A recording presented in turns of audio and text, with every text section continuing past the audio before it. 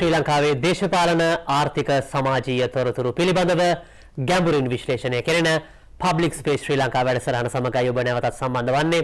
ඔබට අපගේ වැඩසටහන සමග අපගේ Facebook පිටුව ඔස්සේත් සජීවීව සම්බන්ධ වන්නට පුළුවන්. ආර්ට් නිවුස් Facebook පිටුව ඔස්සේ වගේම public space Sri Lanka Facebook පිටුව ඔස්සේත් ඔබට අපගේ වැඩසටහන සජීවීව නරඹන්නට හැකියාව තිබෙන අප සාකච්ඡා කරමින් සිටින්නේ ඩියු ගුණසේකර මැතිතුමා සමග අප ලෝක ආර්ථිකය ශ්‍රී ලංකා ආර්ථිකය සහ ආර්ථිකයට ඇතිවන්නට ඉඩ තිබෙන විෂමතාවයන් පිළිබඳවයි සාකච්ඡා කරමින් සිටියේ. අපි යමුනවා දෙවන ප්‍රශ්න වටයට නිලන්ත ඔබට අවස්ථාව. උදන්නත් ගුණසේකර මැතිතුමනි දැන් අපි දන්නවා අපේ රටේ තියෙන පොඩි ආර්ථිකයක් විශාල මේ බරක් දැරිය හැකි ආර්ථිකයක් නෙමෙයි. නිෂ්පාදන ආර්ථිකය කියන කරුණ පිළිබඳ දේශපාලනඥයෝ හැමතිස්සෙම කතා කරනවා. දැන් පසුගිය අවුරුදු 10 15 තුලත් අපි දැක්කේ නෑ රටේ නිෂ්පාදන ආර්ථිකයට විශේෂ වැඩියමක් කරනවා. මේ යන විදිහට අපිට කොච්චර කල් යන්න පුළුවන්ද? මම හිතන්නේ ඔය ඔබතුමා හරියටම ප්‍රශ්නය හඳුනගන්න තියෙනවා. නිෂ්පාදන කිසිම රටක නිෂ්පාදන ආර්ථිකයක් ගොඩනගන්න නැත්නම් අපි බරපතල ප්‍රශ්න වලට මුහුණ දා දෙනවා. එහෙම නැත්නම් අපි සේවාවන්නේ කරන්න උගක් නැත්නම් වෙලදාම. නිස්පාදනයක් සිදුවෙන්න වෙන ඇත් වශයෙන්ම නිස්පාදන ආර්ථිකයක් තිබුණේ දැන් අපේ යටත් යුද කාලේ නිස්පාදන ආර්ථිකයක් තිබුණා ඒක අපේ වතු වලින් හම්බෙච්ච තේ පොල් රබර් ඕක තමයි තිබුණේ විදේශ විනිමය ලැබුණා විශාල වශයෙන්. ඉතින් ඒක එක නිස්පාදන ආර්ථිකයක් තමයි. අපි කාර්මික ශේෂ්ත්‍රේ නෑ කෘෂික ශේෂ්ත්‍රේ. ඒක තමයි ප්‍රධානම. ඒතකොට කෘෂි ශේෂ්ත්‍රේ තමයි 60ක් පමණ තිබුණේ අපේ ආදායම මාර්ග 160යි. අද කෘෂිකර්මාන්තයෙන් හම්බෙන 110යි. 110යි. අඩු අඩු වෙලා. අද ඒක තියෙන්නේ අද සේවා ශේෂ්ත්‍රයේ 110 තිබිච්ච එක 160 50යි. 150ට වෙලා. උතු බණ්ඩාරනායක මැතිරියේ කාලේ පමණයි කාර්මික ශේෂ්ත්‍රයේ නිෂ්පාදනයක් තිබුණේ. ඒක බඩ විශේෂම මේ ඇය තමයි රට කාර්මිකරණයේ මූලික ෆවුන්ඩේෂන් එක දැම්මයි කියලා කියන්න පුළුවන්. විශාල. ඒක හැබැයි ඉතින් ඒක අපේ අකාරක්ෂ බල විවිධ හේතු වෙලා ඒවා නමුත් අපේ රටේ ලොකු ප්‍රශ්නයක් තිබෙන්න මේ රාජ්‍ය ආයතනයක් කළමනාකරණය කරන්න බැරිකම ඒක බැරිකමක් හන්ද නෙමෙයි. ඒක ප්‍රධාන මන් මමත් මම රූපායන සභාපතිවරයෙක් හිටියා IT එක සභාපතිවරයෙක් හිටියා කොමිෂන් සභාවක සභාපතිවරයෙක් හිටියා. නමුත් ලාභ අපි ලබලා පෙන්නුවා. හරිද ඉතින් දැන් ඒක නේද මම ඉන්න කාලේ රූපාරේ එදා මිලියන් 100ක් සුද්ධ ලාභය. අද රින. හරිද? ඉතින් ඒක ඒක ඒක ඒක හරි සැලසුමක් කරලා එහෙම කරන්න ඕනේ. ඉතින් කියන්නේ දූෂණයට නොදී අරම කරන්න ඕනේ. ඉතින් ඒ පැත්තෙන් අපේ රජයේ සේවයේ හරි පිරීමක් තියෙනවා. රාජ්‍ය සේවාවේ සංස්ථා පැත්තේ ඉතින් ඒක වෙනම ප්‍රශ්න කතා කරන ප්‍රශ්නයක්. නමුත් මම කියාගෙනාව කාරණා තමයි නිෂ්පාදනාර්ථකයක අවශ්‍යතාවය එන්න එන්න වැඩි. අපි මොන හරි නිෂ්පාදනය කරන්නත් එපයි.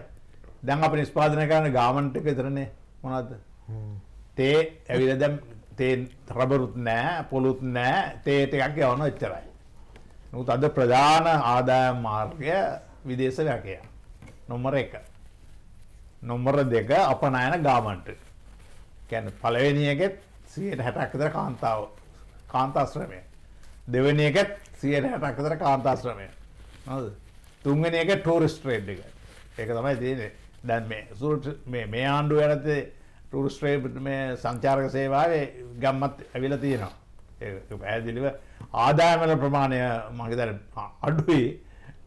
නමුත් ආදායම එන සංඛ්‍යාව නම් හුඟක් වැඩි වෙලා තියෙනවා. නමුත් ඒක එක පැත්තක කියන්නේ සාධනීයයි. නමුත් අපේ වෙන යමක් නිෂ්පාදනය ගන්න බලනවාද ලෝකාර්ථික වෙනස් වෙලා තියෙනවා. මේ තවත් කාරණාවක් අපි කල්පනා කරලා අද මේ 21 වෙනි සතවර්ෂයේ පළවෙනි වසරේ ඉඳලා මේ අවුරුදු 10 ගත්තම මේ 17නේ සම්පේ අද ආසියානු ආර්ථිකය තමයි පෙර ගමන් කරු. ඇමරිකන් ආර්ථිකයකත් යුරෝ ආර්ථිකයක් නෙමෙයි. පලවෙන ඒක සම්පූර්ණ ලෝක ආර්ථික රටා වෙනස් වෙලා. මේක තේරුම් ගන්න පයිස්සල්ල දැම් බලන්න මේ මූල්‍ය අර්බුදය තියෙද්දි අවුරුදු 10ක් තියෙනවා අපේ ගෝලීය මූල්‍ය අර්බුදයක්. ඒ අපිට බලපෑවා. මොකද ආසියාවේ ආර්ථිකයේ චීන 106ක් 100 අවුරුදු 30ක් ගියා 110 6 ඉඳලා 10 අතර. අද වැඩියම තියෙන ඉන්දියාව. ඉන්දියාව 107ක්. හතයි. සියලු මාසියානු ආර්ථක සියයට පහට වැඩි. අපි නරකව අත සියයට පහත් තියෙන අතර දැන් අතරකුත් ගන්න තියෙන අතර. අතරයි පහයි. කොහොමරි ගන්නකොට සාපේක්ෂව දැන් ඔස්ට්‍රේලියා තමයි සංවර්ධිත රටවලින් ඉහළම සියයට ගණදේ සියයට තුන. ඇමරිකා සියයට දෙකයි දෙකට අඩුයි මයිනස්. යුරෝපය සියයට එකයි. ජපානය බින්දුවයි. ඉතින් එහතද ලෝක රටාව වෙනස්සල. එතකොට අපි නිෂ්පාදනය කරන දේවල් ඉල්ලුම නැති අඩු වෙලා තියෙනවා. හරි ආර්ථික අර්බුද නිසා. ඉතින් අපි තේරුම් ගන්න ඕන අපේ අලුත් වෙළඳ පොළ හොයන්න. ඒවට තමයි අපේ මේ ඉන්න ඇමතිවරු එම්බසිස් දාලා තියෙන ඒවට. ඉතින් දැන් විශාල ආර්ථිකයක් ගැන ඉදිරියෙන් මෙන්නේ ආසියානු ආර්ථිකය. ඉතින් ඒ හන්දා අපි නිෂ්පාදනය කරන දේවල් අලුතෙන් වෙළඳ පොළ හොයන්න කටයුතු කරේ. ඒවා තමයි තානාපතිවරුන්ගේ ජොබ් එක තියෙන වෙන කාරණාවක් නෙවෙයි. ඉතින් එහෙම ඒ ඩයිවර්සිෆයි කරන එක කියන්නේ එක්ස්පෝර්ට්ස් වෙන විවිධාංග පැති වලට අර යන්න එකක් නෑ. ඉතින් නිෂ්පාදන ආර්ථිකයම අලුත් කර්මාන්ත ඇති කරන්න ඕන. ඉතින් ඒවා ඒක තමයි මේ ඉතින් ප්‍රධාන මූලික ෆන්ඩමෙන්ටල් කාරණාවක් තමයි අපේ සැලසුමක්. මේ සැලසුම් ක්‍රමය ක්‍රම සම්පාදනය වැටුදා ඉඳලම අපේ අයාල යන ඔය යනවත් දන්න එදිනදා ඒනේ නැමතිවර තමරුවන්ගේ ප්‍රතිපත්ති. ජාතික ප්‍රතිපත්තියක් නෑ සැලසුමක් ඇත්ත නෑ උපායමාර්ගයක් ඇත්ත නෑ උපායමාර්ග ගැලපෙන උපක්‍රම ඇත්තෙත් නෑ ඉතින් ඒක මූලික කාරණා. ඔබතුමා නිෂ්පාදනාර්ථිකයක් අවශ්‍යයි කියලා පැහැදිලිව ප්‍රකාශ කළා. නමුත් පසුගිය ආණ්ඩුව සමයේදීත් මම හිතන්නේ මේ රජයත් අනුගමනය කරන්නේ පංචවිධ ප්‍රතිපත්තිය මේක නාවික කේන්ද්‍රය කර යුතුයි. ගුවන් කේන්ද්‍රය කර යුතුයි. මගේ මගේ හැත්ත ඒ වි- වි- එදාන අද තියෙන තත්ත්වයට තනි නිස්පාදනාර්ථය අරවත් නිස්පාදනය කිරීම දැන් අපි තුමු අපි බලමු දැන් හම්බන්තර වරාය දාන. දැන් හම්බන්තර වරායෙන් ප්‍රයෝජන ගන්න කොහමද? කර්මාන්තරිකයක් කරපෑ කර්මාන්තර ඒකත් එක්ක සමගාම කර්මාන්තරිකයක් ඕන ෆැක්ට් නිස්පාදනය කරන්න ඕන නැවුලෙන් දාලා ඒ ඉතින් මේ ගුණසේකර මැතිතුමනි ආණ්ඩුව කියන්නේ මේ චීනයට දීලා අපි ෆැක්ට්‍රිස්ටයක් හදන්න හදන්න කියලා. එකට විරුද්ධයි නුගක් අය. මම අන්න ම ඒ විරුද්ධ වෙන එකන්න මේ අයිතිය ගැන එක ප්‍රශ්නය වෙන එකක් නේ මගේ දන්න කවුරකත් කර්මාන්ධාන විරුද්ධ වෙන්න ඒ සියට අසුවයි අසුවයි විස්සයි කියන මේක. ඉතින් ඒක සාකච්ඡා කළ ඒක එන්නෙත් මහිත. ඇයි එක එහෙම ප්‍රශ්නයක් ඇතිව තියෙන්නේ? චීනෙන් ගත්ත නාය ගෙවා ගන්න බෑ. ඉතින් ඒගොල්ල කියනවා මං ඔය චීන තානාපතිතුම හම්බ මං ඔය ප්‍රශ්නය ඇහුවා. ඉතින් ඒවා කියන දැන් සල්ලි ගන්න නැත්නම් දැන් අලුතෙන් එක පටන් ගන්නකොට ඒ 100ට 180 දෙන්න පුළුවන්. 80ට කැපිටල් එක දාන්න. ප්‍රාග්ධනය කවුද දාන්නේ? ඉතින් ප්‍රාග්ධනයක් දාන්න ආණ්ඩුවට හරියන්නේ නැහැ ඉතින් එහෙමනම් ප්‍රාග් රටේ ඉන්න මේ පෞද්ගලිකයන්සේ සල්ලක ප්‍රාග්ධනය දෙන්න ආණ්ඩුවට ප්‍රාග්ධනය දෙන්න පෞද්ගලිකයන් පෞද්ගලිකයන් දාන්න නැත්නම් රාජ්‍යයක් දාන්න නැත්නම් ඉතින් ඉන්ටර් ජාත්‍යන්තර ප්‍රාග්ධනය ගේන්න යන වෙනවා ඒක ප්‍රශ්න මතුවෙන හේතුව ඒක. ඉතින් ඒක හා තමයි 80යි විස්තර වෙලා තියෙන්නේ. ඒගොල්ලෝ කියන අපි ඉස්ස ගන්න 80ට එහෙනම් 80ට ප්‍රාග්ධන හදා ගන්න. අපිට ගමන්නේ අපි සීරියස්යි. ඉතින් ඒකට උත්තර දෙන්න කොහොමද? ඒක තමයි දැන් ඔය ආපහු සාකච්ඡා කරන්නේ. මගේ ප්‍රශ්නයට විසඳුම් හොයන්න නැතුව චීන විරෝධී ප්‍රචාරවල කරන්නේ නැහැ. ඒක චීනයේ ගමුළු ලෝකයේ න්‍යෂ්ටික බලාගාරයක් හදනවා චීනය එංගලන්තේ එංගලන්තේ. පාර්ලිමේන්තුව ගාව එහා පැත්තේ ඒක මේ මේ මේ නිකං අපේ රට ඇදෙන සරල විදියට මේ එක්ක ආසනය බලලා එක මැතිවරණයට චන්දවලට බලලා ඒව නැතන් මඩගැහීමට නිකං වචන පාච්චි කරන මිසක් ගැඹුරට අධ්‍යයනය කරලා ප්‍රශ්නයක් මතු කරලා ඒවට විසඳු එහෙම ඉදිරිපත් කරන නම් ඒක සාධාරණ ගැන පුළුවන්. ම ඒක පිළිගද ඇත්ත වැඩිය හොඳයි. සියට සීයම ලංකාවෙන හොඳයි. දැන්න සීට ඉතින් ඒක සීට අසුව විස්සයි හෙට්ටු කරලා අඩු කරගන්න ඇතිපේ රයිද දෙදි අපට උත්තරයක් හොයන්න වෙනවා. ඒ අවශ්‍ය ප්‍රාග්ධනය කොයිද කියන්නේ පටන් ගන්න වැඩ. ඉතර පස්සසේ ඔතකොට මේ තවත් මේ මතයක් තමයි සමාජගත මතයක් තමයි චීනය අපි ණයගුල හිර කරලා දෙන්නේ. නෑ මම ඉති චීන මේ කවකවුද නෑ අපි ඉල්ල ගත්ත වනට ප්‍රශ්න තිබෙන තේරු ඉතිහාසය අර බලන්න. බෞද්ධනට කමකතුම එක්දා සමසය අසූතුනේ තමයි යුද්ධ ආරම්භ මම මම දක මම දක්ගන්න අපිතු ජයාජාදන මොකනේ ඔහුගේ ප්‍රතිපත්ති මම නොපිළිගත්තත් දැන් ඔහු ඔහුගේ ඔහු වෙනක් ගමනක්නේ යන්න හැත්තද බලයාවේ ඔහු ආණුක්‍රම ව්‍යවස්ථාවක් ගෙනාම අලුත් එකක්. ඕ නව ලිබරල් ආර්ථික ප්‍රතිපත්තියක් ක්‍රියාත්මක කරානේ ඉතින් ඒ ධනේශ වේගවත් ධනේශ්වර සංවර්ධනයක් ඇති කරා. හරිද? හැබැයි මම හිතනවා මොකද ධනේශ්වර ක්‍රමයක් සංවර්ධන ක්‍රමයක් එතන නැත්නම් ඇමරිකාවක් ගොන්න කියලා තියෙන්නේ. ප්‍රතර ප්‍රශ්නේ වුණේ ඔහුට ඒ ගමන යන්න බැරි වුණු ප්‍රධාන හේතුව මේ ජාතික ප්‍රශ්නේ. අසුතුනේ අවුරුදු 26ක් යුද්ධේ. ඉතින් සංවර්ධනය කරන්න. ඊට පස්සේ කී දිනක් ආවා. ජනාධිපති පස් දෙනයි හැබැයි අපේ තුන යුද්ධ නොසුණා නම් ඒ ඔහුගේ ව්‍යායාම සාර්ථක වෙනවා. අපි අකමැති වුණත් සංවර්ධනයක් ධනේශ්වර ක්‍රමයට සංවර්ධනයක් වෙනවා. ඉතින් ඒකත් නැති වුණා. ඉතින් ඒක එකක්. ඊළඟට යුද්ධය අවසන් වුණාන් පස්සේ සාමයාන් පස්සේ නැත් වශයෙන් සංවර්ධනය ඊළඟට අපිට තියෙන යුද්ධයට සල්ලි යන්නේ. යුද්ධයට කවුරුත් සල්ලි දුන්නේ නැහැ. අපි කවුද යුද්ධයට අපට ආධාර දුන්නේ කවුද? චීනය රෂ්‍යාවයි පාකිස්තාන පාකිස්තානයයි ඉරානයයි ඉරාන මේ රටවල ඉන්දියාවයි ඉන්දියාවට එක අකාරණක අසාධාරණය මේ ඉන්දියාව සඳහන් මම ඉන්දියන් ඉන්දියන් කට්ටය කොයි තරම් මේ ඔත්තු සැපීම් අරව පැත කොයි තරම් ආදා කර කිසිම දෙයක් දැන්නතුව නිකාම් ඉන්දියාවට බයින්න මෙස්සු කොයි තරම් ඉන්දියාවකෑන් ටැමිල්නාඩුව නෙමේ ටමිල්නාඩුව වෙනම එක චීනෙත් ආධාර දුන්නා ඉන්දියාවත් ඉන්දියාව අනිත් රටවලගේ ආදාය අරගොල්ලු කෙලින්ම යුද ආධාර දුන්නා මෙයාලා වෙනත් ආකාරයක වෙන විදිය කළා හැකි මම කියාගෙන කාරණාව අසාධාරණයි කියලා මම දන්න මමත් ඔය යුද්ධයන කාලේ වැඩ බලන විදේශ සමතිකම හිටියේ මේ මහින්ද රාජපක්ෂ කාලේ මම හැම අවස්ථාවෙදී. එක්සත් ජාතික සංවිධානයේ මහලේකම් වෙනකොට එයාපෝට්ටේ මම තමයි ඊයේ බින්ගෝ කම්මුගේ. ඉතින් මම කටයුතු දන්නවා. මම දන්න කොන්නෝ කවුද උදව් දෙන්නේ කවුද නැද්ද කියලා අපි සම්බන්ධකම් තිබුණාද? ඔබ ඔබ ඔබතුමා කවදාවත් ඉන්දියාවට නැහැ. ඈ ඒ ඒ සමය තුලදී ඉන්දියාවට කිසිම වචනයක්වත් ඔබතුමා විරෝධයක් නෑ මම දෙකන ඉන්දියාව කියන මම මම කීපාරක් ගියාද දේශපාල පක්ෂ අපේ මතයට ගේන්න ජාපතුමා අපිටක් කරලා. දෙල්ලියව අපි එනවස් කරලා පත්තරව දාලා මීඩියකට කිව්වේ නෑ. නමුත් ගිහින් සියලු දේශපාල පක්ෂ நாயක හම්බෙලා අපේ මතවාදය කරුණු පැහැදිලි කරලා අපේ ගංගල තමයි වැඩේ කරගෙන ගියේ නේද? තැමිල්නාඩුවට ගේකම අම්මතිවරය මම මම ගිය රහසෙන් ගියේ. යනකොට හැබැයි දන්නේ මාධ්‍යවේදී 200ක් එයාපෝට් එකේ හිටියා. මං හිතුවා මම අල්ලගෙන.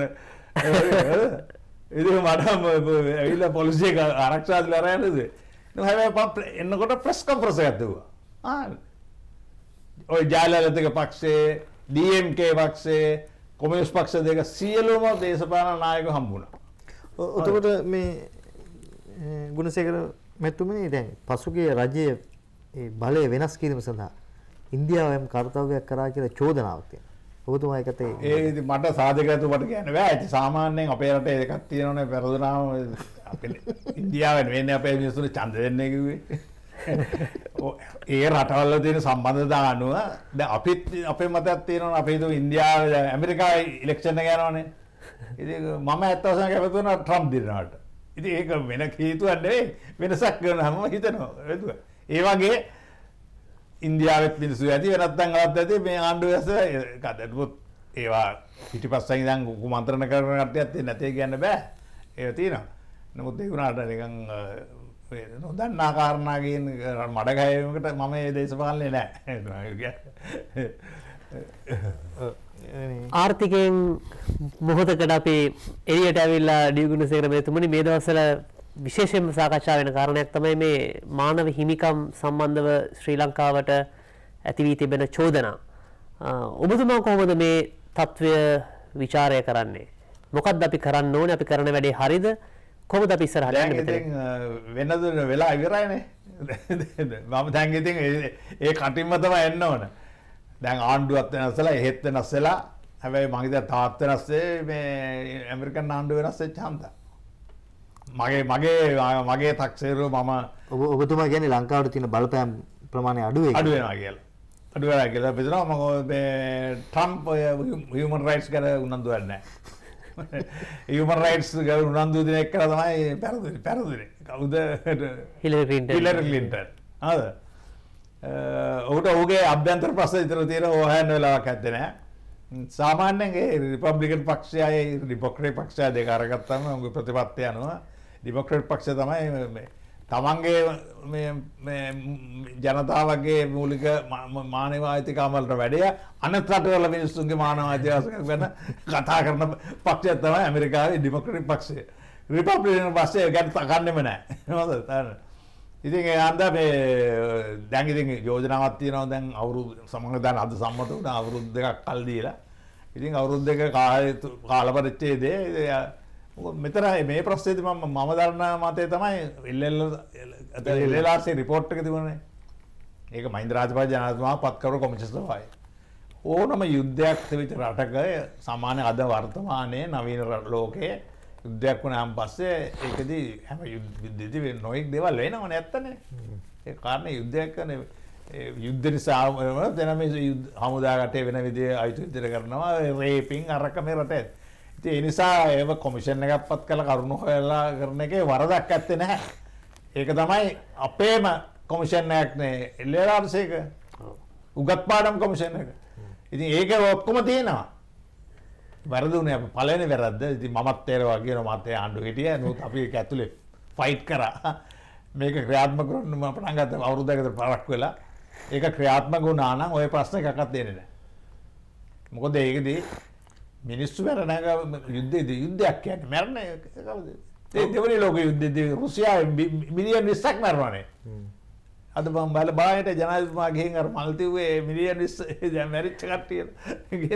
ඉති යුද්ධයක් කැන ඇත නමුත් සමාර දේවල් මගත ආපව් සමාගයක් ගොඩනගන්න ඕන්න ජාතික සමගිය සංහිදයා ගොඩනගන්න ඕන්නම් ඒ මිනිස්සු පෑරිච්ච හිත අන්න ඕන අවබෝධය එක ඇති කරන්න ඕන. ඒ ඇති කිරීමට සමහර දෙවල් කරන්න ඕන මම පුරුත්තාවන ඇමතිවරයා වශයෙන් හිටිය යුද්ධවර හැටියේ මට බාර්දුනේ එල්ටට කාඩස දොළොස් දාක් දොළොස් දාක් ඒ දොළොස් දා අපි ඔබ හරියට පුරුත්තාපන වැඩට දැම්ම.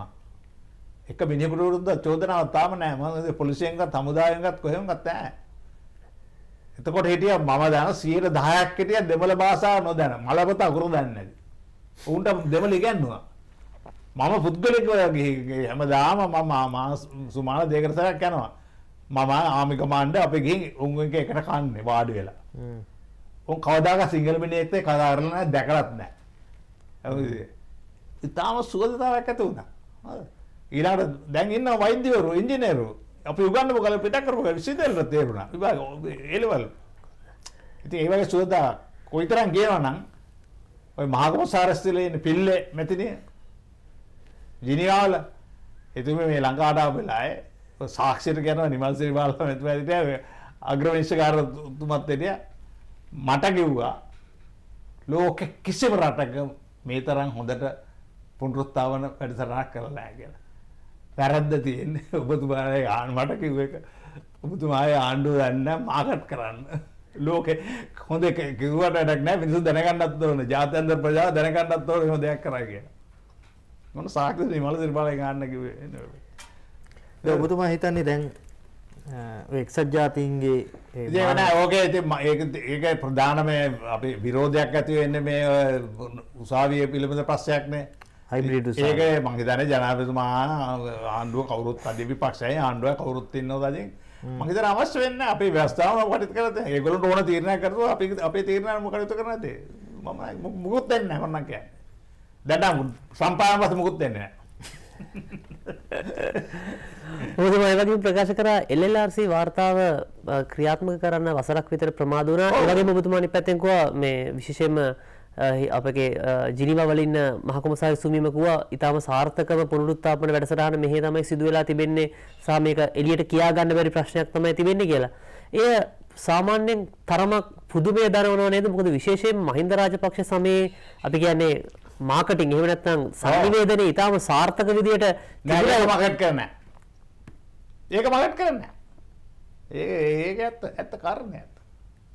රටේ මිනිස්සු දන්නේ නැහැ කවුද? දාකර කර මම ඇමති අදා ඇමති කර හැබැයි අවුරුද්ද හිටියේ මම එමන් කාලේ කරුවා මම දන්නවා ඒක. ඔන්න දා ආමික බණ්ඩ හිටියේ ධාරත්නායක තමයි සංකල්පය. ඇත්ත වශයෙන්ම ඉතාම මට මතකයි අපි ඇවිල්ල ඔය හෝ මයි මට හම්බුලිතු නවතක මණ්ඩ කෙනෙක්.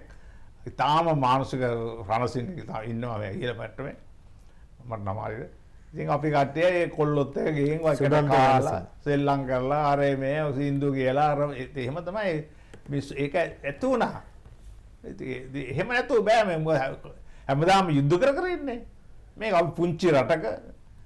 මේ අපි එක්කොම ඒක ගොඩ ගන්න ඒ ආණ්ඩුව මෙතන පැරන වගේම දැන් ඔබතුමා දකින්නේ කොහොමද? දැන් අපි දකිනවා මේ දකුණේ සමහර දැන් උතුරේ සමහර ප්‍රශ්න විසඳීමට ආණ්ඩුව යම් ගන්න යම් යම් පියවරයන් පිළිබඳ ලොකු විවේචනයක් තියෙනවා. විශ- විශේෂයෙන්ම ඉඩම් ගැටලුවේදී. හමුදාව ඉඩම් මෙන්න බාර දෙනවා කියලා. හමුදාය හමුදාව ඉඩන් තියෙන ඇත්වසේ හමුදාවට ඉඩන් දීල තිබුණ තමයි. දැන්ගේ හුඟක් ක්‍රමාණුකොල ආපව් පවරගෙන යනවා සමහර දේවල් ඉතින් කොහොමත් මේ අපේ යුද්ධයක් තිබිච්ච රටක වහවා තියෙන හමුදාව ඉවත් කරන්න කියන එක ඉල්ල ඒක ඉල්ල ඉල්ල- ඉල්ලීමත් අසාධාරණ ඒක පාවිච්චි කරන්න බෑ එතන ඒක ඉතින් ඔය දෙමළ පක්ෂත් එක්ක කතා කරලා සමහර මේක ත- පළවෙනි කාරණාව දුප්පත් අහිංසක මිනිස්සුගේ ඉඩම් බලන් තියෙනවා ඒක දෙන්න ඕන. ඒක දෙන්න බැරි නම් ඒ හමුදා තියාගෙන ඒ වෙනකොට විකල්ප ඊටපත් දෙන්න ඕන. ඒ ප්‍රශ්නේ. ශේෂ්ඨයෙන් මේ සම්පුදු අහිංසක පිටු ජනතාව ගෙඩ. ලොකු මිනිස්සුන් නේ යුද්ධයකට යුද්ධේ යුද්ධෙන් හිම ඇත්ත වශයෙන්ම ද- දෙමළ ධනපති පන්තියට මුකුත් උනේ නෑනේ. ඈ අසෝ කළු ජූලය වෙනකොටම ලක්ෂ හතක් රටින් ගියා. ආ, ලක්ෂ දෙකක් ගියා තමිල්නාඩුවට ඉතුරු ටික, අ, ගියා ඇමරිකාවට යුරෝපයට ඔක්කොම ගියා. යන්න බැරි මොකුත් බැරි මිනිස්සුලා ඉතුරු වුණේ. මේ මිනිස්සුලා මැරුම් කෑවේ. හරිද?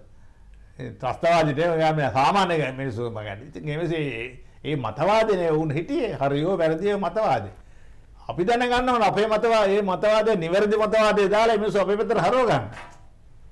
අපි හැ- සදාකාලිකව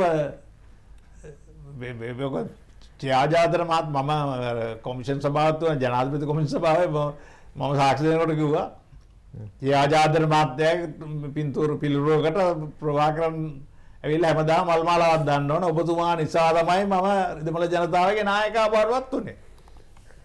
ඒ අර ගිහින් මැතිවර ඩිස්ට්‍රික් කොමටි එක්ෂන් එකයි ලයිබ්‍රරියයි ජැප්න යාපනයේ පුස්තකාලය විනාශ කර ඒක වෙච්චාට පන් දන්න මං දැන් ඒ අවසන්න කැමති නෑ. ඒ ගිය සහභාගච්ච ඇමතිවරු UNP ඇමතිවරු මාත්‍යය කිව්වා. හද අදත් ඉන්න පාර්ලිමේන්තුව වර කට්ටිය. ඉතින් ඒක තමයි අන්තිමේදී කොහොයක්ක නැති ප්‍රවාරගෙන දෙමළ ජාතියගේ නායක වුණ. අර අමෘතලිගම්ලා ධර්මලිංග ඔක්කොම මරලා පරම්පරා දෙකක් ඉවරයිනේ ඒක තමයි ඩියුගුණසේකර මැතිතුමා ප්‍රකාශ කරමින් සිටියේ කොහොමද එල්ටීටිය ඉදිරියට ආවේ සහ මානුෂීය මෙහෙයුම තිබූ සමයේ සිදු වූ හරවත් රසවත් කාරණා කිහිපයක් තමයි එතුමා මතකයට නැවත ආවර්ජනය කරමින් සිටියේ. අප ඔබගෙන් ලබා ගන්නවා කෙටි විරාමයක් විරාමයෙන් අනතුරුව නැවතත් අප ඔබ සමග සම්බන්ධ වෙනවා පබ්ලික් ස්පේස් ශ්‍රී ලංකා වැඩසටහන සමගින් රැඳී සිටින්න අප සමගම.